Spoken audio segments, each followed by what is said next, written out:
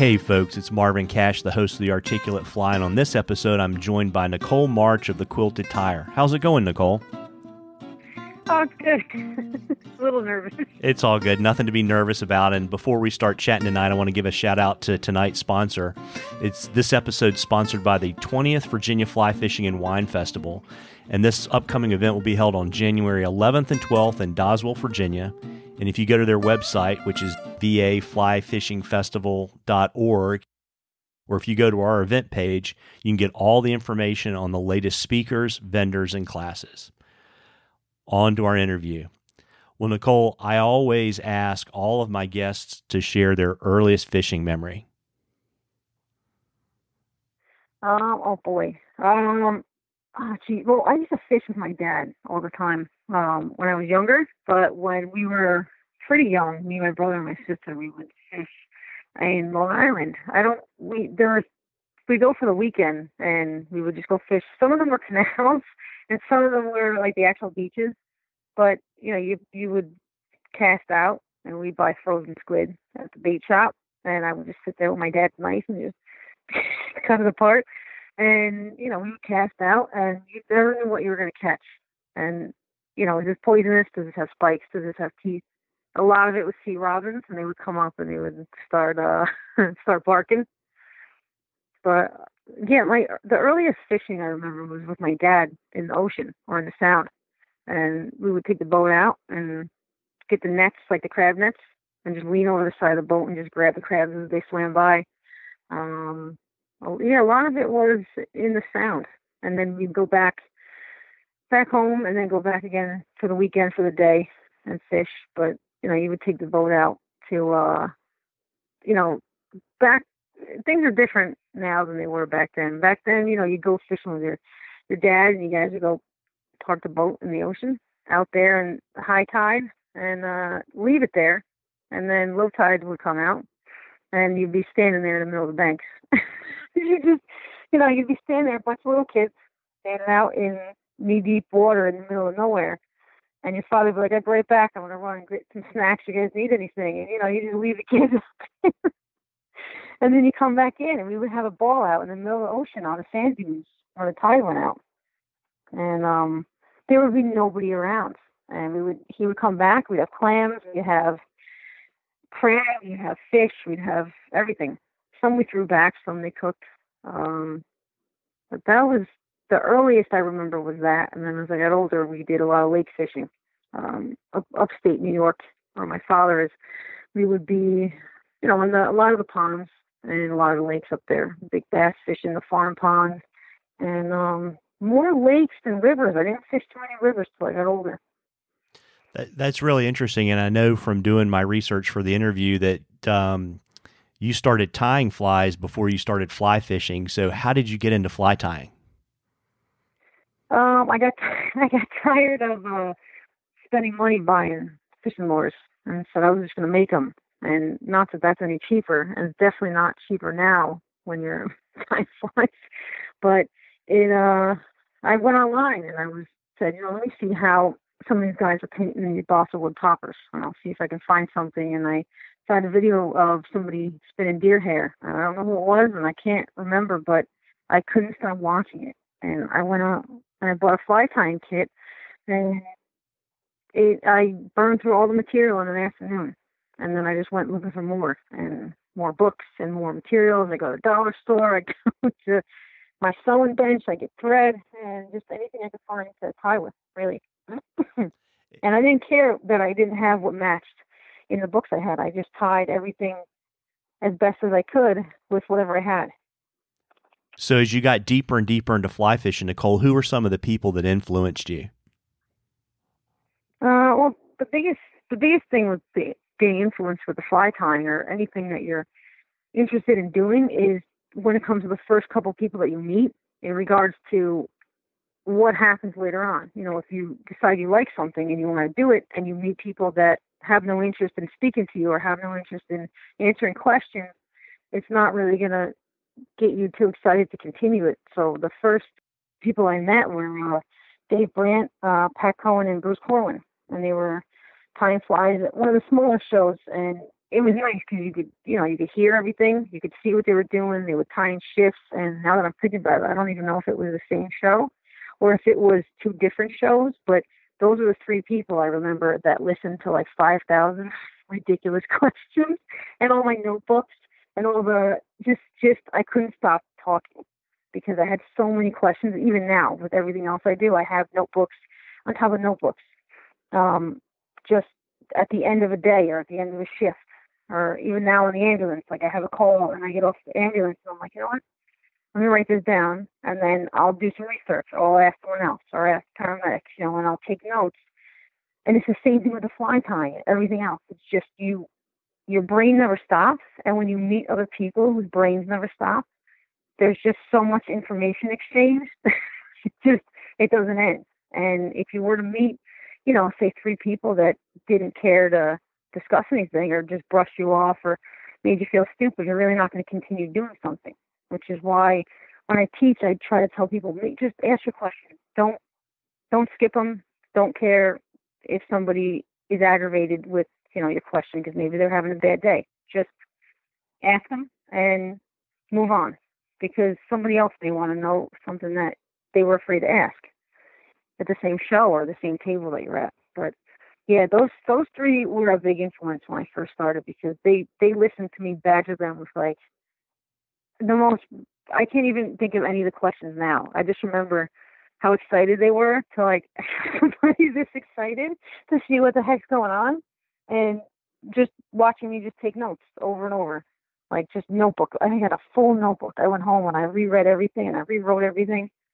You know why you do this and how do you get the wings up like this? Because Dave was doing Catskill uh, dry flies, and Pat was spinning deer hair, and it was just, you know, and uh, Bruce was doing like more realistic stuff. So I kind of got a little bit of everything, um, just to start off my mind of questions. Yeah, I mean that's great. I mean those are three great people uh, for sure. And um, you know I've spent a lot of time with Dave over the years, and spent some time with him up at the casting school, and I he's a an incredibly thoughtful and methodical tyer.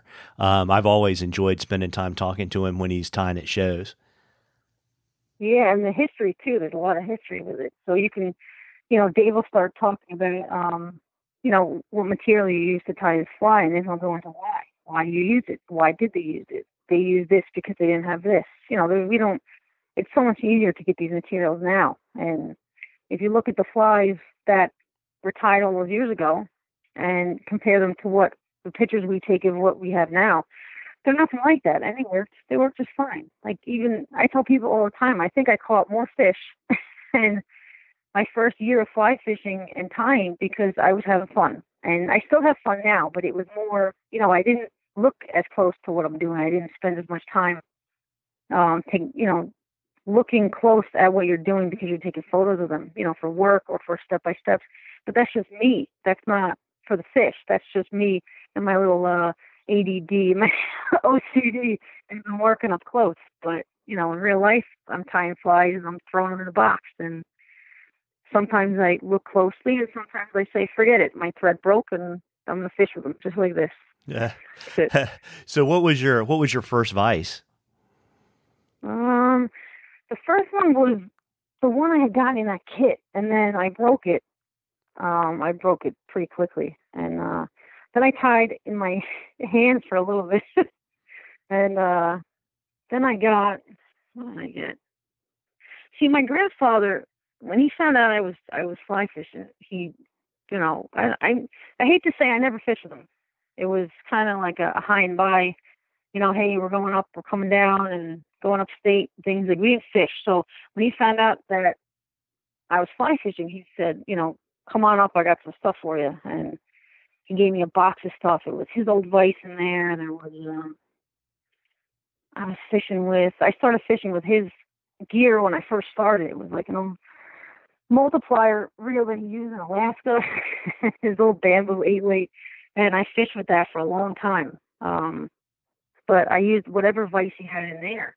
And then I finally got a real vise and I started using a Regal and I just it made everything so much easier. The hooks don't fall out. Every time you're you know, especially with the deer hair and you're pulling on it, you're not you're not you know, the hooks don't bend out of it, they don't fall out of it, and um, it was just an easier setup. So I didn't have to find somewhere to clamp it all the time. And I did tie in my hands for a little while, and it it it, it wasn't as I wouldn't want to do it all the time, but you know, it's a learning experience. yeah, no. Plus, before they had vices, everyone tied in their hands. It was just like the uh, thread. They didn't even have bobbins. Yeah, that's that's really interesting. Is there a preferred style of flies that you like to tie? Um, whatever I can get done. I have a list of different things. So sometimes I'll just tie a lot of soft hackles for one length of time, and then I'll say, you know, I want to work on dry flies, and I'll just tie a lot of dries. Um, the soft hackles, they are still my favorites. but definitely my favorite to tie and to fish. Um, what what drew you, what drew you to soft hackles? Uh, the material was cheaper at the time. Instead of paying, you know, I, I didn't have the money for the dry fly necks that I had seen, so I bought whatever I could afford, and what I could afford was the uh, soft hackles and the hen necks, and they just became so much fun to tie. And you could, you know, and you could use the bigger feathers, and you could I don't want to say shrink them down, but you can manipulate the feathers to where you're using the entire um the entire neck, the entire everything on all of them. Use it for the throat, use it for the hackle itself, use it for tailing. So you were tying for a while and then you started fly fishing. So talk to me a little bit about, you know, how you were like, I've had enough tying, I need to go fish. Um, oh well the first time I ever actually fly fish, I took a, uh, I, I took all the flies I had and I went to my aunt's farm pond and I took uh, whatever I had and I went out there and I, I told her um, I'm gonna take a few casts in the farm pond and the first thing I did was this was before I fished with my grandfather's old bamboo rod, um, which was definitely made a little better than what I had purchased the first time. So I went to a store and I bought like a kit, you know, just a, a cheap. I don't even know. I'm sure it had a name. I can't think of it now. It was just whatever, whatever was on sale. It was the rod, the reel. I put it together. I figured out as best I could. I went to my aunt's house and said, I'm gonna take a cast. I took two steps towards the edge of the farm pond. I fell in the pond, and when I went to turn around, I I slammed the rod on the side of the fence and I broke it in half. I even with it the first thing I did was just fall in, spin around, break the rod. That was that was the first time I ever fly. Oh, there you go. Yeah, so I did bring it back to the store and they gave me a new one and then I went out and I did a lot of lake fishing. Not near the fence though or the edge of that pond, but I did go back to that pond and catch a couple big ones. Um, but it uh it was a lot of lake fishing. I didn't do too much trout fishing until later on. And it was ponds and bass, bluegills, anything, just warm water. And then I needed something in between the winter and summer, and I found the trout fishing. And I couldn't stop once I started because it was like just so much information. Because now you're going from fishing streamers and things that I would take my older paddlers and lay them out and then draw a picture or whatever I was doing and tie my streamers to match some of my favorite lures.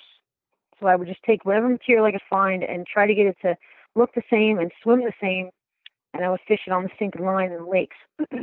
and then when trout fishing came along, I'm like, wow, I need like six kinds of one caddis in every stage, you know.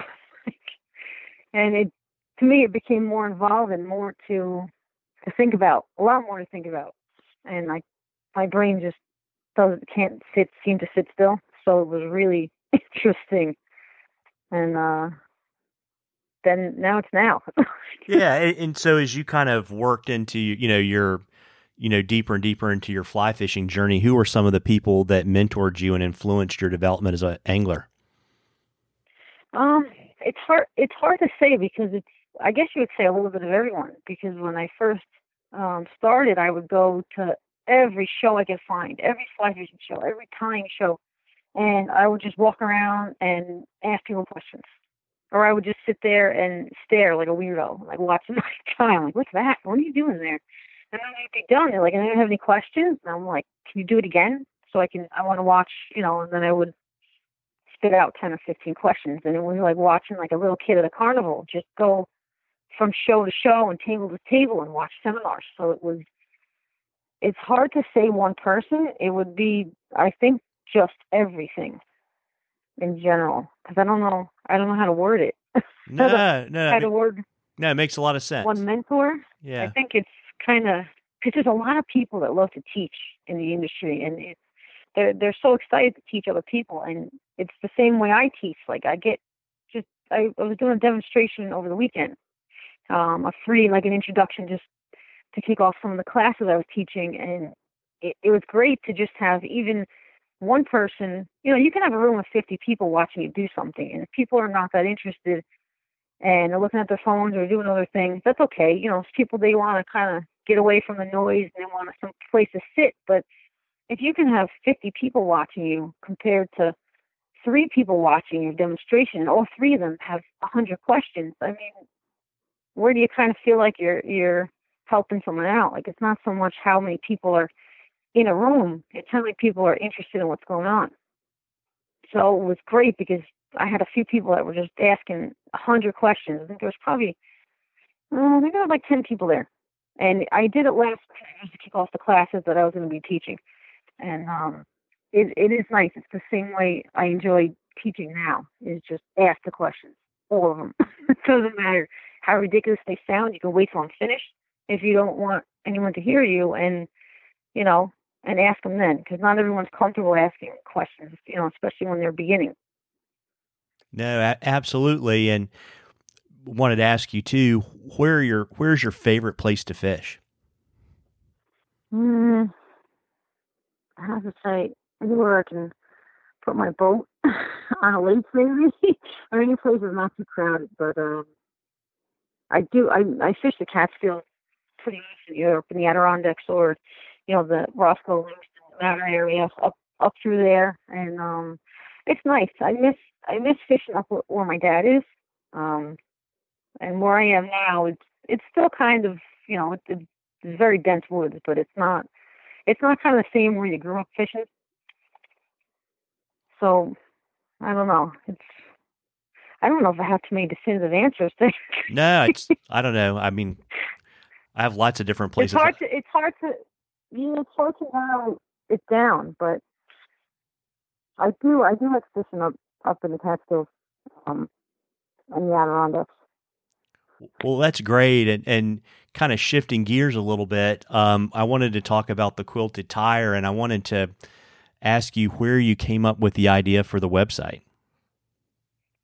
Um, I have I have um I don't know how to word it. There's there's just so much information that a lot of us share and it's not fly time. You know, you have people that um they're cooking, they're they're cooking. A lot of people I meet that tie flies, their wives do a lot of sewing.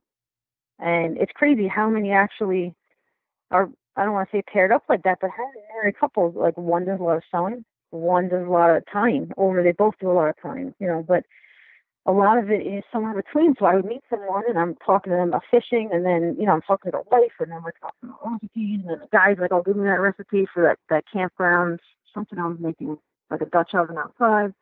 And um so it's kind of a mix kind of I was trying to put everything into one spot between the books I read, because a lot of people were asking me for recommendations on certain things, and I was trying to put everything in one spot, and it's a little it's a little behind right now. I'm trying to get it um, updated, but I wanted to make it easier to use. So if you're on the website and you go to a step by step, and it says how to how to wrap this hackle, you click this, and then it'll take you to another one, another link that opens up and gives you pictures right there. So as you're looking through a step by step, you can click on one and it'll open to another page and explain to you how to do it if you don't know how to do it. You know, if you're new to it, you say do a, a counter wrap, you click here, it opens up, and there's a separate page how to do it. And when you're finished, you can close it and go back to where you started. Yeah, that's really interesting. I mean, and as you mentioned, I mean, the quilted tyer's got a lot of stuff on it in addition to fly fishing and fly tying. I mean, there's cooking information, there's sewing information, there's craft information. Where did the, where did those interests come from? Was it just something you kind of bumped into that was interesting to you, meeting other fly fishers and fly tyers, or was it something from your childhood that was really important to you? Well, I always was. I don't know how to say creating something, whether it was painting or drawing or um, just working with my hands. And I did a lot of arts and crafts with my aunt when I was younger, and a lot of cooking with my mom. And between the two of them, I got a lot of different things done between artwork and she read a lot of books. And it's it stayed with me for a long time.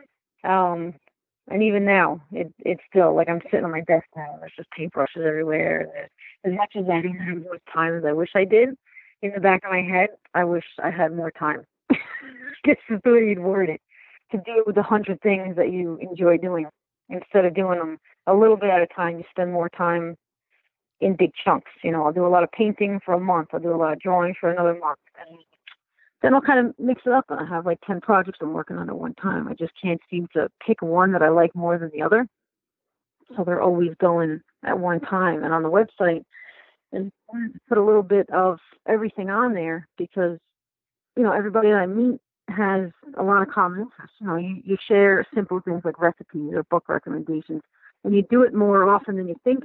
Even if it's like taking a, a picture of something, a cover you're reading, and you text it to your friend, and you don't even say anything to each other, and like a month later, like, oh, you that book you uh you, you told me about, you know, was pretty good, and but I was trying to put everything that I enjoyed into one website because I you know a lot of different people. Some of the the the guys that I tie flies with, from their wives, I go to quilting clubs with. So we kind of mix it up in between, and then some of them we all fish together. But there's there seems to also be some sort of they say I don't know what the word is something between fishing, you know, fly tying and quilting that just seems to be hand in hand. And that's not what the quilted tyer is, but it is for me. I think it's pretty funny because I meet people at a quilting event and they say, "Oh, my husband's fly fish or my my daughter's fly fish," and then you go someplace and you go to a fly fishing show and you know they tell me all about people that do a lot of flying or you meet different people on on either end of it. So I know you're involved in a lot of not-for-profit activities, and when I did my research, Nicole, for this interview, it was really clear to me that giving back and supporting uh, your community, both those things were very important to you. And I was really interested to understand where that came from. Was it a childhood experience or something that happened to you later in life that really made you uh, value giving back in community? Uh, it's hard to say because it, it I don't know if it comes from one single place or it just always seems like something I I want to be doing at the time. You know, somebody needs help and I'm there to help them. In you know, whether it's trying to learn if it's a technique on a fly tying uh, technique or just just in general, like when I'm at work and just out in public. And it's not all the time. Like you can't help the entire world. you can't, you know. But it's it's um I don't know what it is. It just seems to happen, and it's I enjoy doing it. So when I can, I do do as much as I can, you know, at the time. Yeah, and I know too for you. I mean, it, that makes a lot of sense because you know I know that it's not just your you know non-work life; it's all of your work life, right? So I know that you're a certified home uh, health aide and you help people with Parkinson's and Alzheimer's. And I know when we were setting up this interview, you told me you recently passed your certification to be an EMT. Uh, and you told me that you always wanted to be a paramedic. And I was really curious about what drew you to emergency medicine. Um, I've had an interest in it for quite a while, even when I was working in the hospitals. Um, but I never really had a chance to sit down and, you know, enroll in school and get everything done from start to finish. So, in between moving from one state to the next, as I went from one job to the next, it kind of happened. And I had been on the ambulance squad where I live for I don't know, maybe six months, maybe longer, and then they put me into school, and I finished up and I started doing that as well. And you know, once you start one, you can't do 10 jobs at once. So I have jobs in one state and I had to stop doing something. And it kind of just happened to where I went from doing what I was doing to doing what I had been interested in doing as I kind of left from one place to the next. So it somehow worked itself out while I was in between moving my work from one state to the next. Really interesting. I think one of the neatest things that I, have read that you do is that you're a medical tattooist and that you help breast and skin cancer survivors. And I, I was really interested to hear, you know, when and how you realized you could help people uh, in that way. Well, see, that's one of the jobs I've been trying to move from New York to New Jersey or closer into New York um, to where I am. And when I started doing it, it it was I don't want to say it was an accident, but it wasn't planned. You know, it was somebody had come into the tattoo shop and asked me if I could cover, cover her abdominal scars, and she wanted to either cover them up with a skin tone or do it in anything. So I took a look and we decided that doing it in a skin tone because the scars were so big, they were almost as thick as a pencil.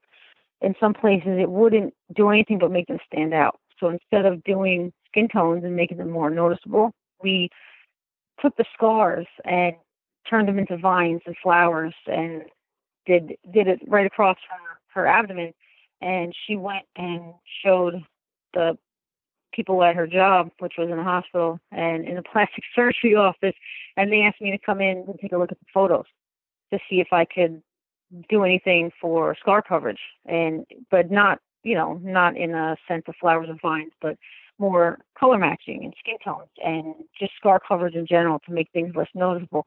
And I said, you, you know, we went over because that was probably the first time I saw the extent from the beginning to end of how a full surgery would go from before they found the cancer, uh, well, before they did the surgery on the cancer through the full mastectomy to the reconstruction.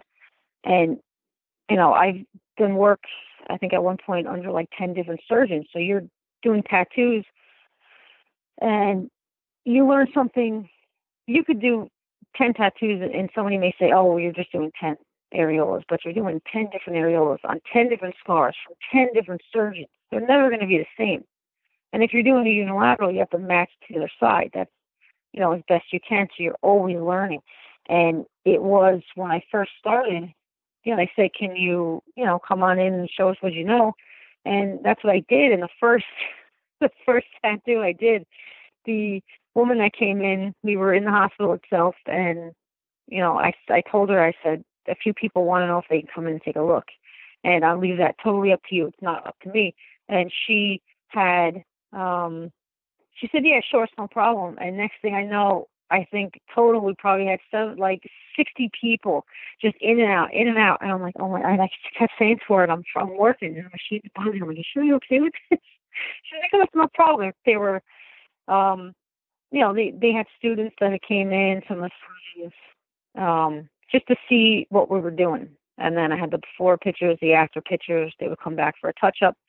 And, um, I don't know how long ago I started that, doing that 10 years, maybe longer.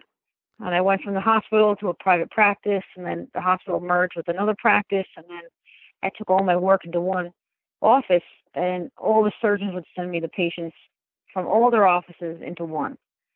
And then from there, um, I finished up quite a few of the patients before I fully moved, and then tried to, and I commuted for a while. I think up until I'm trying to think how long ago. Pretty recent. I was still commuting back and forth and then trying to move the work into this state. But I'm not sure where, I'm not sure when, and then somehow in between there, I started, you know, looking into what I had been, you know, something else I had had an interest in. I mean, how many things can you have an interest in at one time? but um, I still, you know, I so I went to school while I was working, and then um, I finished up, and I'm still, even though I'm still doing the work as an EMT, I am still trying to move the practice over. Either if it's north, you know, northwestern New York, or if it's in Jersey. I still haven't decided what to do. So, you know, it, it, things have a way of straightening themselves out when they're ready. You know, so I look into places, I look into offices, I look into hospitals, and then, you know, you you you can't wait on something, so you move on as you as you work towards things, and then you see how everything works out. yeah. you know, you, you can't you can't make a plan because life doesn't seem to like plans. It just yeah. you know, oh, you want to go out today in the sun? Here's some rain. You know, so you deal with it. yeah, there you go. Absolutely. Well, it's you know, and I mean, I'm just amazed at all the stuff that you've done. And you know, one of the things that you that uh, you've done is you co-founded the uh, Lafayette chapter of Kids on the Fly. And I'm really curious about where the idea for the program came from. Well, they have a program upstate um, New York, and they have another program in Randolph and I had wanted to help out with the Randolph chapter, but my schedule wasn't really working. Um, so I had spoken to a few people about maybe starting one up, and I kind of thought about it, and then said, you know, see what happens. And I was talking to a few people in the community about we, I don't know, we had a lot of stuff going on that wasn't like the best, like community wise. And I said, you know, what do these kids have to do when they have nothing to do? And they said, well, you know, they get out of school and they they have activities, but you know, they could always use one more. So I thought, you know, maybe we should start one up so these kids have something to do when they have nothing to do. It's like a better addiction or a better way to spend time. So I spoke to the guys that ran the other chapters, and then I spoke to uh, Robert Hopkins. He's um, a member of the Catskill Fly Tyers Guild as well, and we were, you know, throwing ideas back and forth about where to do the program and we had a few different locations, and nothing seemed to be available or to be where would work, you know, because there's liability. What if a kid gets a hook in his finger and things like that? So he had um spoken to Whitewater Flies in Lafayette, which is a fly shop down there, and he spoke to the owner Greg, and Greg lets us do the program in his shop, which is great because you know it's local to the county he has supplies there. So when you know we if we're missing something, we get it off the shelves, we buy something. He's got there's a big field if the kids want to try casting at one of the open houses they have. And what's nice is the area that it's in, it's almost like a big family type shopping center, you know. So a lot of parents come and they tie with their kids and a lot of parents actually come and they say you guys have fun we're to do some shopping you know and which is great because the the place has like a little bit of everything. So if you want to stay, the shop has stuff to do. If you don't want to stay, and the kids, you know, are old enough and they they come by themselves, we have some kids that come constantly, and they come every session and they get better and better and they have a hundred questions and it's nice to see them where they what's the word they're just you know they're addicted to it and they, it's like a good addiction it's not where they're doing something wrong you know, or they feel like they shouldn't be doing it. It's it's an answer. It's well, it's not after school because it's on Saturdays, but it's difficult because the kids go from sports and they go. They have so many activities as well. Sometimes I'm probably I'm probably like a five year old myself, I guess, with all my activities. but some of the kids come in and like, oh man, I gotta leave. I have to go to football. I have to go to this. I want to stay in flies. So it's we found a place where the kids can go, the parents can come, and it all works together. And it's nice that he lets us, you know, do the program in his shop because, you know, we're in there, we're making noise, we're doing, you know, and it's great for everyone because Greg comes and helps, and and uh, you know, the kids like the place. You know, and it's interesting, Nicole, because you know, one more thing you do is you're involved with the Catskill Fly Tyers Guild, and how did that come about? I I ran into the guild table at a show, and they had you know a sign up sheets, and there were a couple guys tying flies, and they had the newsletters out on the table. And I picked. They were free, you know. They would give them out to people as they came by, and I started reading them, and there was just so much history in it, and I couldn't, you know, I couldn't stop looking at it because it wasn't just a fly pattern. It was where it came from. It was who supposedly invented it and how they fish it, and so I signed up, and I wasn't sure at the time what the guild was. I just, you know, if it was a fly tying club or if it was a something more, I don't know, formal, or if it was, you know, people just just did a lot of teaching. So I signed up and I went to a few meetings. And for me, I thought it was pretty interesting because there were people with tie flies. You know, yes, it was meetings, it was business meetings as well. But for me, it was I would go for the information. You know, you meet new people. You you would be up at the Fly Fishing Museum in the Catskills, and you would be just just the area in general that I was fishing quite often. So I would go up and I would fish, and then I would go to the meeting and make like a weekend out of it and come back down.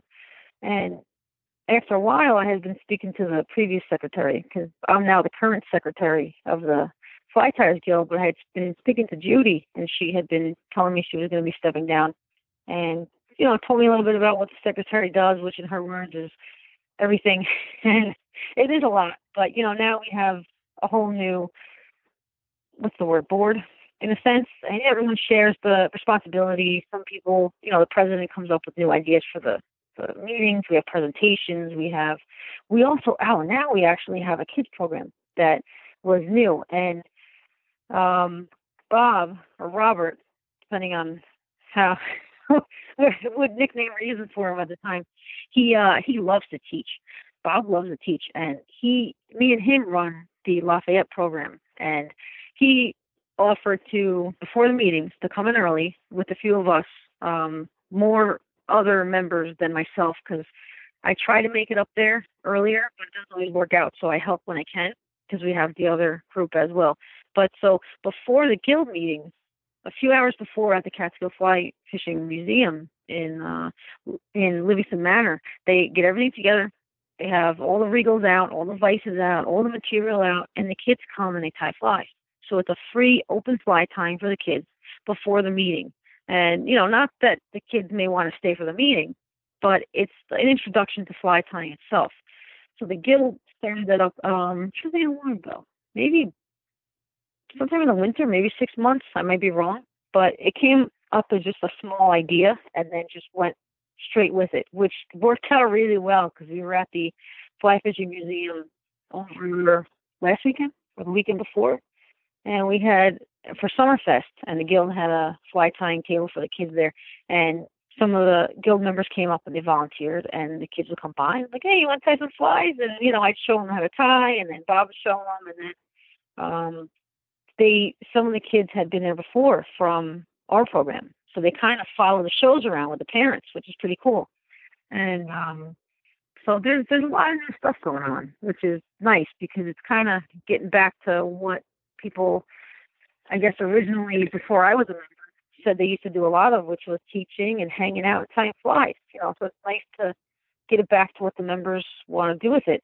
Because I don't know if it had lost touch after a while. I mean, maybe people don't want to hear that, but these, but this is what I've heard. You know, they said that just want to get back to fun, which is what fly tying should be. It should be fun. It should be hanging out and tying flies and teaching if that's what you enjoy doing. Yeah, and you designed a coloring book for them too, didn't you?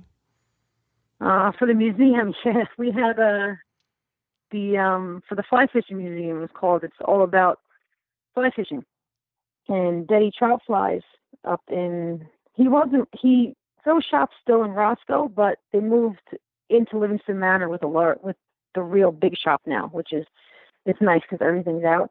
They um and the museum came up with you know the idea to put a coloring book together and they spoke to me about it and they said what do you you know what do you i, I had asked them i said how do you guys want it done and they said kind of just do whatever you want and i was like oh boy the eight thousand ideas in my head so i tried to do it where it was like when i was younger i loved coloring books but i loved activity books but i didn't want too much of one or the other.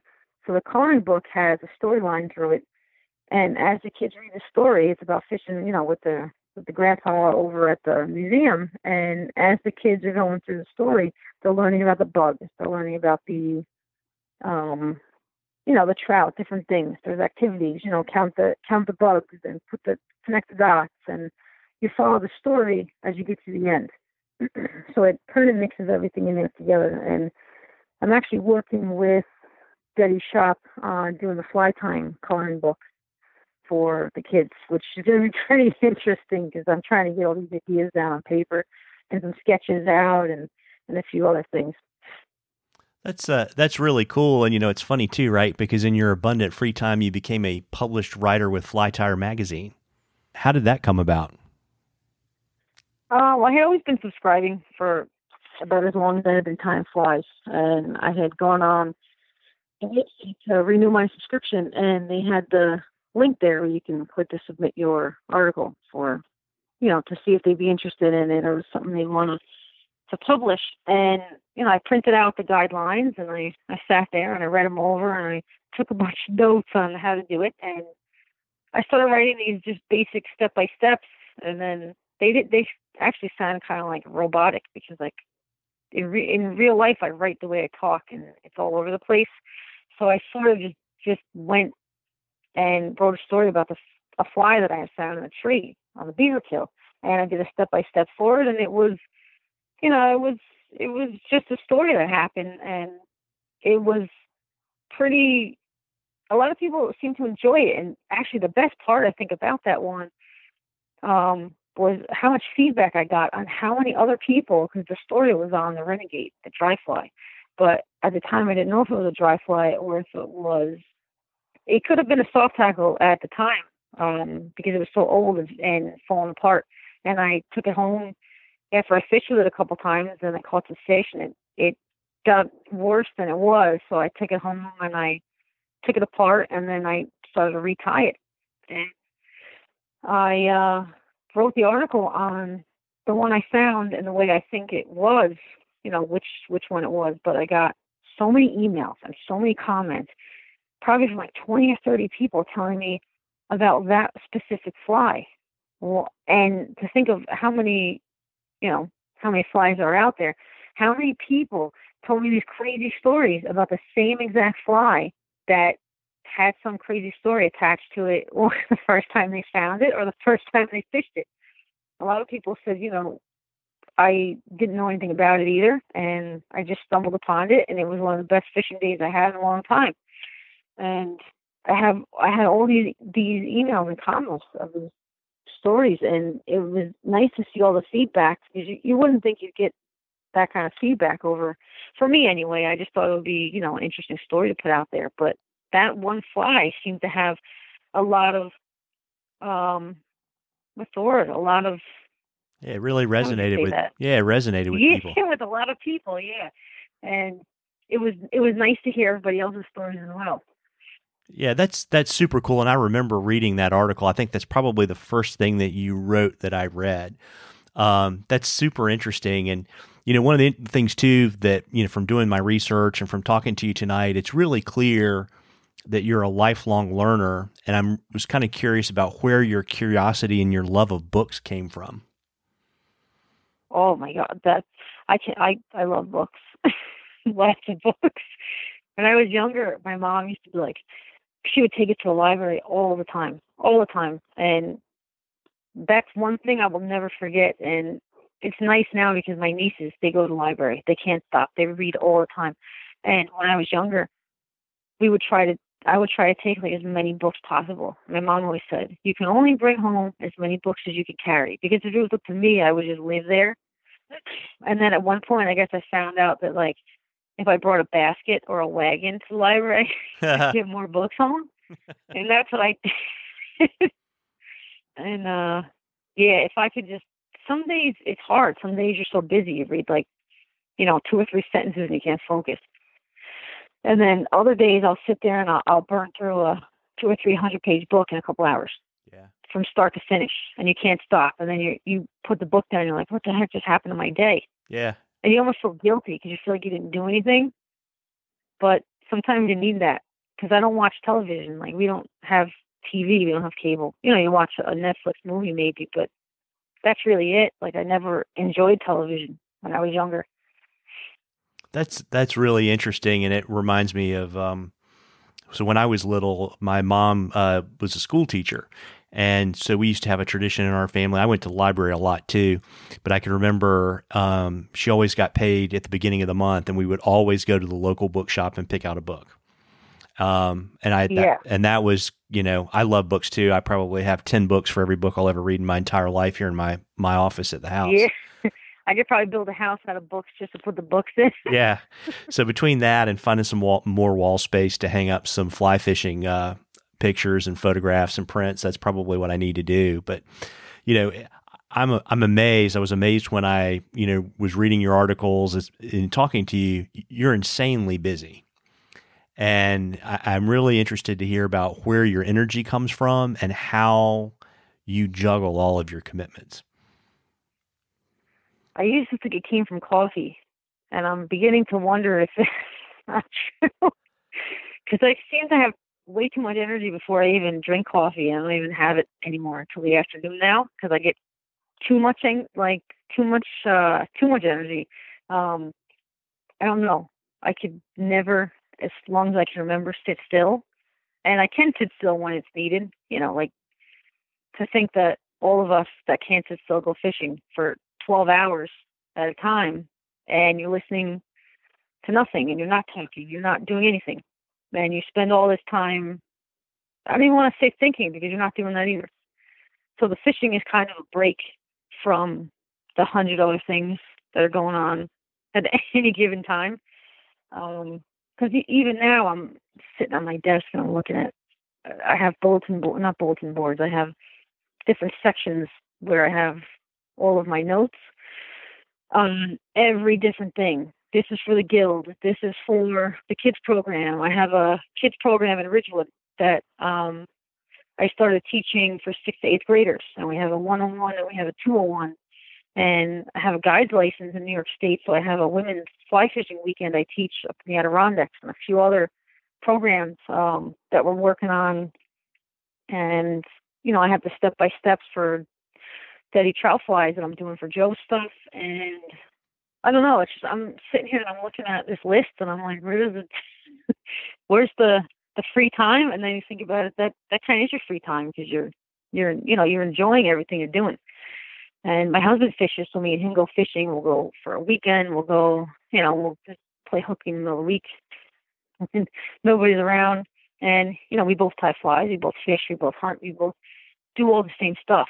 So it's kind of like you're, you know, you marry your your best friend, as they say, and you just keep doing all the stuff you do. Now you buy a house full of fishing stuff, full of everything else. So everything is kind of all mixed in into one. And so I don't know where I don't know where I find the time and the energy. I don't know. It's just it's there. It's always there. And the teaching, I get wired to teach. Like I'm like, you would think like I had six cups of coffee because I like to see other people interested in something that they had so much trouble with, um, or that they they thought, you know, hey, I wanted to start this, but I don't know how. And I tell them the same thing: start with the basics. Just you don't have to know the names of every fly. You just got to know what in your box looks. I do this with the kids too. What looks close enough? I have them in their six week program. I take them out. I'll do one day. I'm like, come on, let's. We're gonna go out. I said, I want you to get all the bugs you can find that you get anything on this river or on this stream that you think a trout would eat.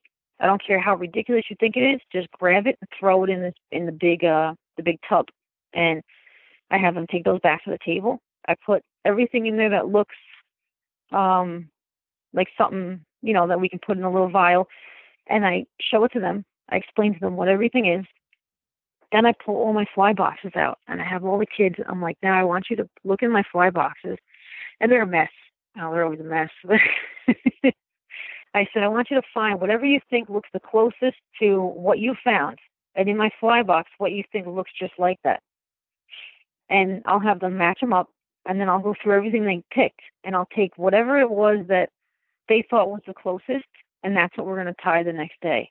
And then after that, that's what we're going to fish with the next day. So the kids go from they learn some casting, they learn some, um, you know, tying knots. They learn the basics of the river. They learn a lot of these things. And going through Parks and Rec in Ridgewood, New Jersey, they they kind of go from beginning to end, but it's all I don't know, I want to say mingled together where it starts from one end and finishes in the other. They're not learning about flies they're going to tie that they're never going to fish with. They're not learning about bugs that don't hatch around here.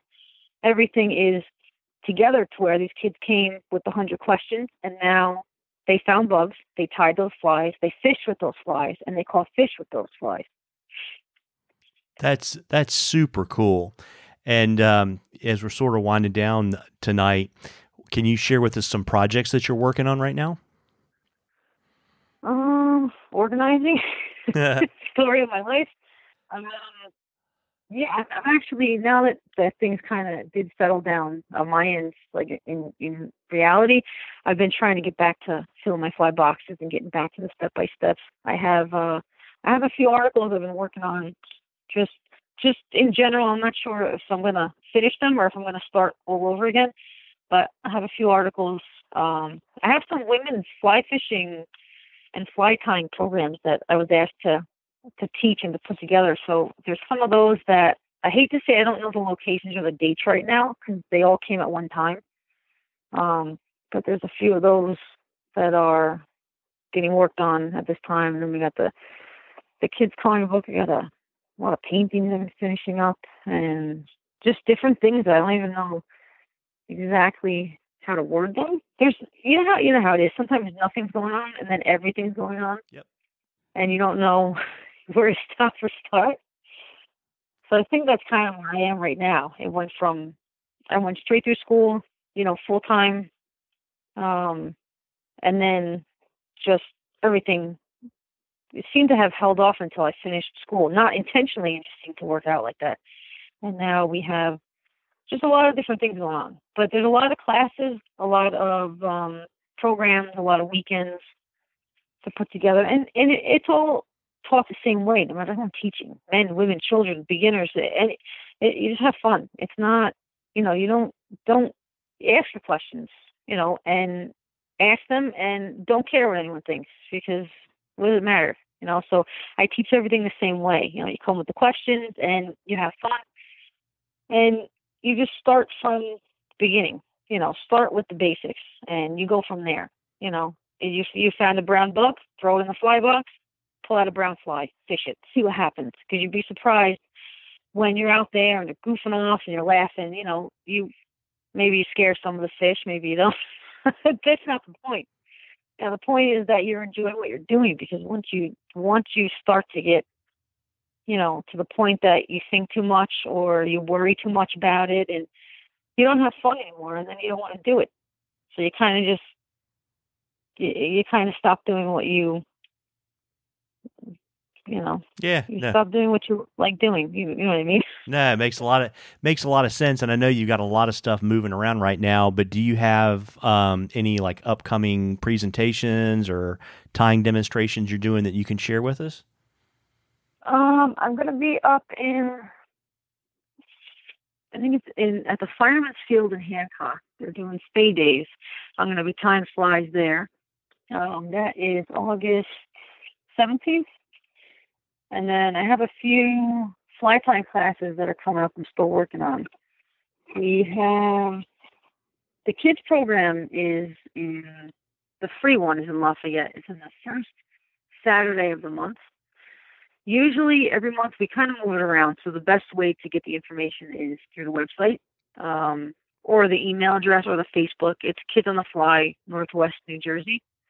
And there's a few other ones. So if you look one up, you can find Randolph because they have their days different than us. So the kids can go to more than one program. They can come to ours and type flies, and a week or two later go to go down to Steve's program and type flies. And I have Camp Sagamore in September. There's a women's fly fishing weekend I'm teaching a beginner's course. That's going to be on the 20th, 21st, and the 22nd, I believe, up at the Great Camp Sagamore, up by Raquette Lake in the Adirondacks. Well, that's great. Yeah, if you'll send that stuff to me, I'll drop them in the show notes for sure. And before I let you go, uh, why don't you let folks know where they can find you on the internet? I have the well, the website um, is thequiltedtyer.com. The Facebook is the quilted tyer. Instagram is the same. It's the quilted tyer. Perfect. Um, Yep. There's And I'll, email address on there, and anything else I think is in the contact information. yeah, and I'll drop all that stuff in the show notes. And Uh, Nicole, I really appreciate you spending some time with me this evening. It's been a lot of fun. I've enjoyed getting to know you better. And uh, before we go, I want to give a shout out again to uh, tonight's sponsor, the Virginia Fly Fishing and Wine Festival. Folks, go to the website uh, at vaflyfishingfestival.org and get all the information for that upcoming event in January of 2020. Great event put on by Beau Beasley. And folks, I really appreciate you listening. It'd be great if you would give us a review in iTunes and subscribe in the podcatcher of your choice. Again, Nicole, it's been a ton of fun. I really appreciate it. Tight lines, everybody. Tight lines, Nicole. Oh, thank you very much.